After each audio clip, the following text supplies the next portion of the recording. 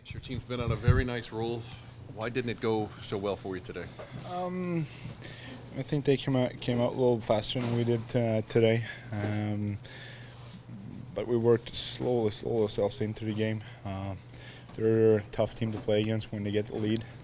You know they park their bus in front of the goalie, and it's tough to get shots through and um, you know get in quality chances. Were you bracing yourselves for the fact that you had beaten them the first two meetings of the year? This would be the last time you'd see them, at least before the playoffs, and you knew it's tough to sweep any team three straight. Yeah, it is. It's tough to do that in this league. Uh, even though we, we, we, we sure had a chance, you know, I thought when we got that, uh, that uh, our first goal, uh, you know, we, we had some momentum going there and uh, had some good chances right after. But then they, they got the fourth one, and that basically kills the game. How'd you feel after the first period, uh, zip zip uh, in this one, uh, going into the second period?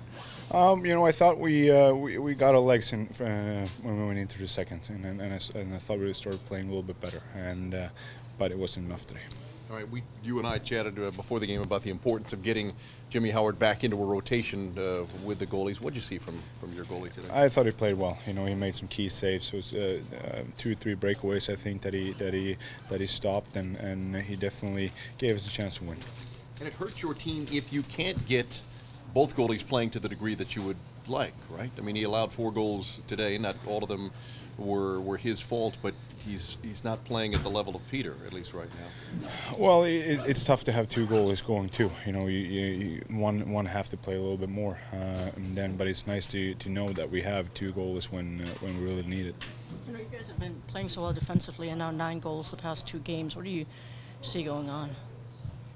Well, if you scratch the last game, you know those it was kind of tough to to uh, it was tough goals, you know, and you know today. Uh, there, there was a, a few mental mistakes, uh, but that will happen in the course of the season. We just gotta make sure that we, we keep playing the way we want to and, and minimize our turnovers, and we will be fine. You guys are are used to back-to-backs, but this was unusually fast. I mean, you finished today's game exactly the time yesterday's began. How, what's that kind of turnaround like?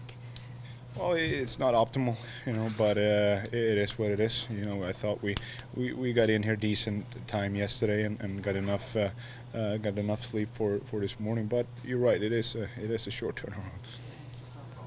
Thank you. What you've seen from him uh, lately is that he's six goals in five games. Today he passed Shanahan on the all-time wins list. Just talk about his game. Well, I see Paul Datsyuk. You know, I don't think anyone is surprised. You know, he's, he's playing the way he's always have been. Uh, even that he gets uh, older in age, he, he, he keep playing the way he always have. And, and you know, it's uh, uh, looking back on my career, it's probably going to be the play that I'm most proud of playing with. And uh, you know, we have a lot of fun together.